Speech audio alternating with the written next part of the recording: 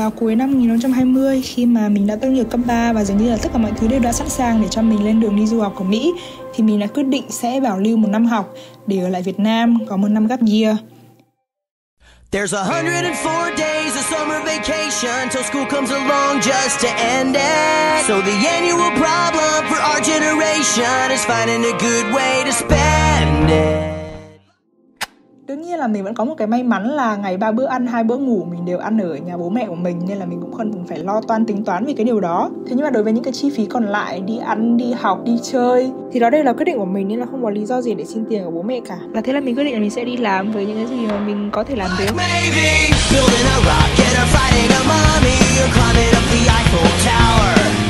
Discovering something that doesn't exist. Or giving a monkey a shower.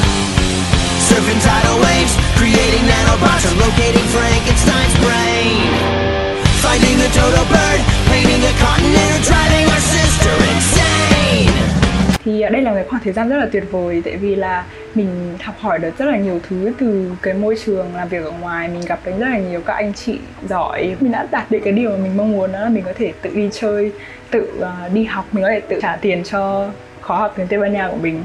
Ờ, và mình làm rất là nhiều những thứ khác mà không phụ thuộc vào bố mẹ nữa thế nhưng mà đây cũng chính lại là cái khoảng thời gian là mình đã có những cái lúc ừ, vào khoảng cuối tháng 2, đầu tháng 3 thật sự là mình muốn nghỉ edit một thời gian. Và thực sự là mình đã nghỉ edit một thời gian mình không động tay đến edit nữa. Và sau đấy thì mình có nhận ra được rằng là đây sẽ chỉ là một cái thứ mà mình muốn giữ để làm sở thích cá nhân của bản thân thôi cuối tháng tư là cái lúc mà mình chính thức chấm dứt tất cả các hoạt động đi làm. Mình chỉ giữ cái việc gia sư thôi, tại vì kiểu cái việc gia sư nó không liên quan ấy, và mình vẫn cần tiền đi chơi. Mình kết thúc năm 2020 bằng việc là mẹ mình phải nằm viện và cái đêm giao thừa đấy thì mình phải đón pháo hoa một mình trên đường cùng với chị mình. Nhưng mà đó cũng là cái bước ngoặt trong một cái năm mới mà mình muốn tập trung vào gia đình nhiều hơn và mình cũng hiểu được rằng là cái sức khỏe là cái thứ mà mình không bao giờ được phép coi thường. May thay là mình vẫn có một cái tết cuối cùng rất là tuyệt vời và rất là đáng nhớ cùng với bạn bè và người thân của mình khi mà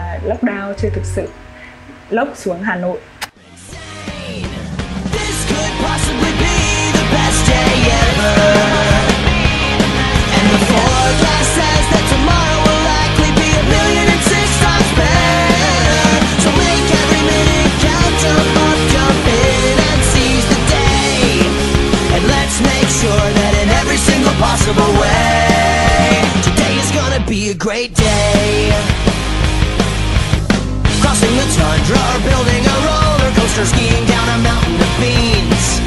Devising a system for remembering everything Or synchronizing submarines. Racing chariots Taming tiger sharks Constructing a portal to Mars. Đã đi cạo đầu. Ha. Look at this. Mình kiểu cạo hình sấm sét or something ở đây. Thì uh, bắt đầu đến cái nửa còn lại của cái gap year này thì mình lại crisis về một thứ khác thì chính là identity của mình nói chung là mình bị để ý quá nhiều về những lời nói của người khác và mình có một cái xu hướng chạy theo những cái gì mà đám đông muốn xem chẳng hạn. Như là đêm mình post một cái gì đấy, nhưng mà xong đến sáng hôm sau thì rất rất muốn xóa đi và nói chung là mình không tự tin vào những gì mà mình nói ra nữa. Mình không thật sự là mình cho lắm. Thì đó, thế là mình quyết định là bây giờ mình phải làm một cái gì đấy. Mình step out comfort zone để mình bắt đầu lại cái cuộc hành trình tìm lại bản thân cũng như là beauty của bản thân. Tại vì mọi người biết khi mà mọi người cắt một cái tóc mới à, mà một cái tóc khác hẳn ấy thì nó sẽ không bao giờ giữ nguyên như cái lúc mà mọi người rời khỏi cái salon tóc đúng không? Thì mọi người sẽ mất một thời gian để tìm cách style tạo kiểu như thế nào hoặc là ừ, làm gì với cái tóc của mình để nhìn thật mắt.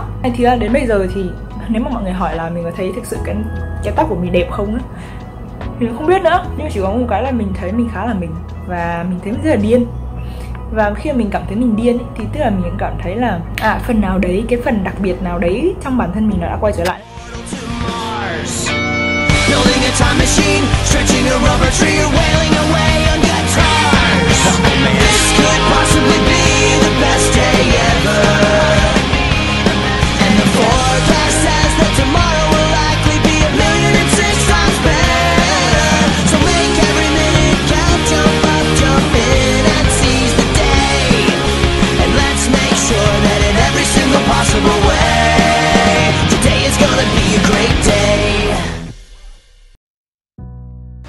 và đó cũng gần như là toàn bộ những cái việc mà mình đã làm trong cái gap year này.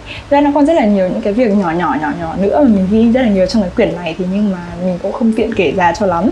Rất là nhiều thứ cũng đã xảy ra nhưng mà quan trọng là sau một cái năm nhìn lại thì mình cảm thấy là đây là một quyết rất là đúng đắn của mình tại vì là suốt 12 năm học, lúc nào mình cũng chỉ là một con gà công nghiệp ở trong nhà, được nuôi ăn, nuôi học và tất cả những gì mình làm chỉ là đi học và đi chơi với các bạn thôi ấy.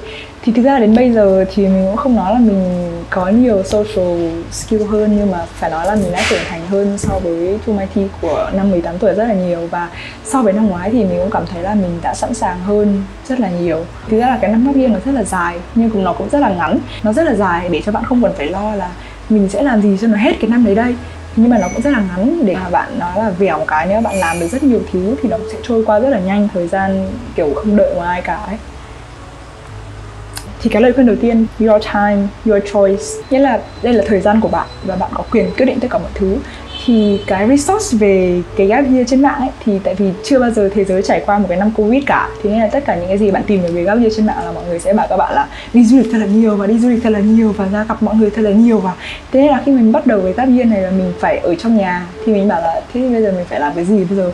Nhưng mà sau đấy thì mình phát hiện được ra là có rất nhiều thứ các bạn có thể làm. Hãy chủ động với những cái lựa chọn là mình chọn cho gap year của mình. Đừng xem quá nhiều video youtube, cũng đừng đọc quá nhiều, chỉ là gap year là cái gap của cuộc đời bạn, chứ không phải là cái thứ để mà bạn phải show cho cho mạng xã hội là tôi sẽ làm gì vào thời gian rảnh để chứng minh cho họ thấy là mình productive. Vậy nên là cái lời khuyên tiếp theo đó chính là gap year là một cái khoảng thời gian rất là tốt để bạn có thể làm được cái điều mà bạn muốn làm, thế nhưng mà nó không phải là khoảng thời gian duy nhất.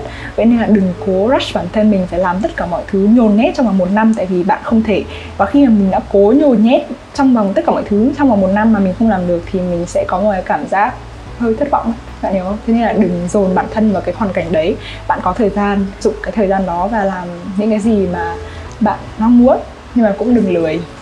Lên thứ ba là chính là nếu có cơ hội thì hãy làm ơn ra ngoài. Tại vì đây là một cái việc rất là phổ biến sẽ xảy ra, tại vì nếu các bạn không ra ngoài và các bạn chỉ gói gọn bản thân mình là ở trong nhà, dù các bạn có làm nhiều việc đến đâu ấy, thì các bạn cũng sẽ không thể vượt qua được cái bóng của những con người cũ cũng như là các bạn của mình, thì nói chung là nó có một cái lý thuyết đó chính là cái con người bạn ấy, thì nó sẽ có một phần nào đấy được xây dựng bởi cái môi trường mà bạn xây xung quanh và những cái con người mà bạn xây xung quanh. Nếu bạn muốn gắt như là một cái gì đó để cho bạn thay đổi thành một con người mới, thì bạn cũng phải tự surround được mình bởi những cái con người mới, những cái nguồn năng lượng mới, thì khi đấy nó sẽ, gọi là gì, lột xác bạn từ trong suy nghĩ cho đến ra ngoài. Tiếp theo đó chính là về những cái bạn mà có một cái gia đình extended family cũng như là một cái gia đình rất là yêu thương giống như mình thì thực sự mình phải nói là gap year nên để dành cho family time chứ không phải là dành cho alone time. Có nghĩa là gì? Có nghĩa là gap year là cái lúc mà khi mọi người xung quanh mình vẫn còn đủ sức khỏe à, và mình vẫn ở trong nhà với tư cách là một đứa trẻ thì mình nên dành thời gian để vây quanh cùng với gia đình. Tại vì thời gian với gia đình nói gì nói nó cũng sẽ vẫn có hạn còn thời gian một mình thì mình có thể dành ở sau này rất là nhiều. Đương nhiên các bạn có thể dành một vài, một hai trip dành cho bản thân. Thế nhưng mà đừng isolate bản thân quá khỏi gia đình của mình, tại vì hơn ai hết khi mà bạn đi du học, khi mà bạn bắt đầu một hành trình mới thì gia đình của mình chính là những cái con người cô đơn nhất, tại vì họ là những người ở lại, đúng không? Và bạn là những người đi. Và để chốt lại cho cái phần personal này thì mình muốn nói là mình có một cái câu mà mình đã đọc được của một chị cũng check gap year mà mình không thực sự nhớ là mình đã đọc ở đâu. Nhưng mà nó là đừng biến bất cứ một cái phần nào cuộc đời bạn chỉ là phần đệm cho một cái phần khác. Um, gap year không phải là đệm cho đại học. Gap year là gap year gap year là cái khoảng thời gian bạn có thể tự tập trung theo chính bản thân mình. Nếu mà các bạn có bất cứ một câu hỏi nào mà mình có thể giúp được thì mình rất là welcome nó. À, và mình có thể trả lời thật lòng với các bạn ở trong phần contact. Bạn có thể nhắn tin cho mình hoặc bất cứ lúc nào các bạn muốn. Thì mình cũng hy vọng là chung thi của tương lai nếu mà mày đã xem lại được cái blog này mình tìm lại được cái quyển sổ này và mình đọc được là trong cái gap year mình đã thay đổi như thế nào thì hy vọng là mày cũng sẽ làm những điều đó trong những năm tiếp. Hãy tiếp tục thay đổi bản thân mình và cho mình biết được rằng là mình có thể làm những cái điều gì. Và hãy đừng ngại bất cứ một cái gì để đưa ra một quyết định tại vì đó cũng có thể là một quyết định đúng đắn nhất cuộc đời mày giống như bây giờ ta đang cảm thấy. À, vậy thôi thế nên là chúc chúng mày thi trong 3 ngày tới sẽ lên đường vui vẻ. Chúc tất cả các bạn có một cuộc sống an toàn và hạnh phúc cũng như là vui. Um, ok so Trung IT của chương 2 năm 19 tuổi officially. Signing out. Bye bye.